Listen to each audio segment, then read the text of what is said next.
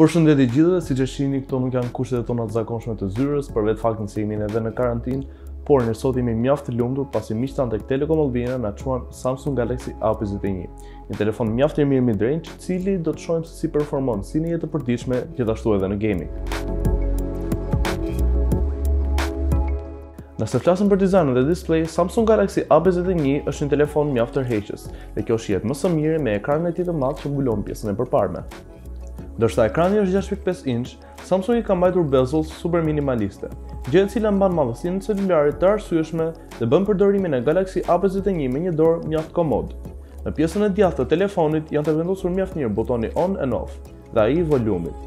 Dhe sa për të gjithë ju që nuk jeni një fans i buds ose kufjeve me bluetooth, do të jeni të kënaqur të mësoni se ka një headphone jack të kufjeve në pjesën fundore të A51. Sa për ngjyrat në të cilat ofrohet, Galaxy A51 vjen në katër ngjyra të ndryshme, e zezë, e bardhë, roz dhe blu. Siç jemi mësuar tani me smartphone-et e Samsung, ekrani me rezolucion Full HD Plus ka ngjyra dhe kualitet fantastik, gjë që e bën Galaxy A51 mjaft tërheqës për t'u argëtuar, por edhe për të luajtur. Fatkeqësisht ekrani është vetëm 60 Hz, një refresh rate më i lartë do të kishte qenë një veçori mjaft e mirë. Galaxy A51 gjithashtu krenohet me kamerën e vogël hole-punch të Samsungut në ekran, me të cilën jemi mësuar tashmë në smartphone-ët e fundit të kompanisë. Nëse flasim për kamera, Samsung Galaxy A51 ka një kamera 32 megapiksel për selfie në pjesën e përparme dhe një platformë me plot 4 kamera në pjesën e prapme. Kamera kryesore është 48 megapiksel dhe asaj bashkohet një wide kamera 12 megapiksel, sensori makro 5 megapiksel dhe një depth sensor 5 megapiksel. Kjo i jep fleksibilitet të madh Galaxy A51 kur bëhet fjalë për lloje të ndryshme fotografish që ju doni të bëni. Nga ana tjetër, kur flasim për specs dhe performancë, Samsung Galaxy A51 ka një procesor octa-core Exynos 9611 së bashku me 4 GB RAM. Me këto parametra, ky smartphone jo vetëm që funksionon shumë mirë me programe të thjeshta, por edhe në gaming.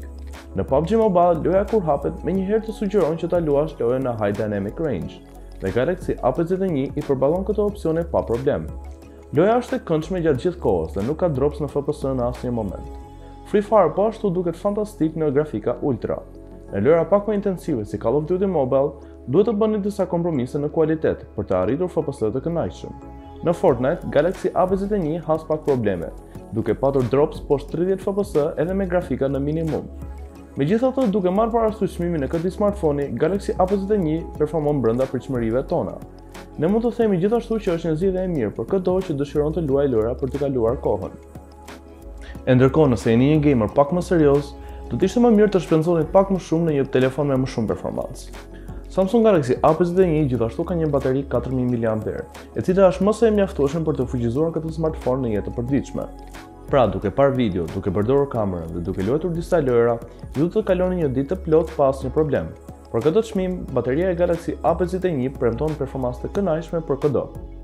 Ekzistojnë gjithashtu 64 GB storage dhe për ju që doni pak më shumë vend, ju mund të vendosni një storage të jashtëm deri në 512 GB.